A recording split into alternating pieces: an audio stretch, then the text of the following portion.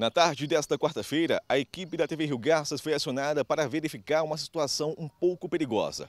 Ou melhor, muito perigosa. Há pouco mais de uma semana, os moradores dessa rua reclamam de um poste caído. Um caminhão que passou por esta localidade acabou derrubando o padrão, deixando a área perigosa e energizada. Passou um caminhão aqui, derrubou o fio, né? Igual vocês estão vendo aí.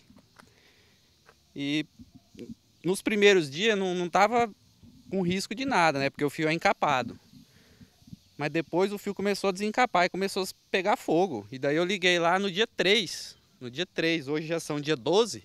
Todos esses dias que esse fio aí no chão, correndo risco, né? O pessoal passa aqui a pé, né? E tal, de moto, de carro, tudo. Qual foi a resposta da Energisa?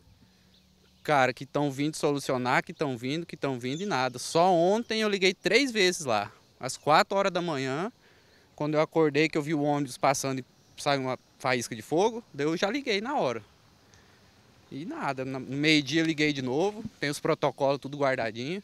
Então assim que saiu, assim que caiu, você viu que estava começando a pegar fogo, você veio e fez um trabalho aqui intensivo? Isso, daí eu joguei essa terra aqui para ver se, né, dá uma o pessoal não passa aqui e pisa em cima do fio, né, que tá desencapado ali. Agora não dá para ver porque eu tapei, né?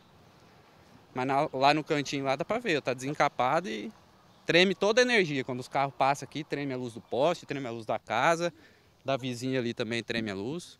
Você tem todos os protocolos da Energisa? Protocolo do dia 3, do dia 3 do dia 3, eles tinham quatro dias para vir aqui, né? Que é o, o prazo que eles dão, quatro dias para vir até aqui. Hoje já são 12.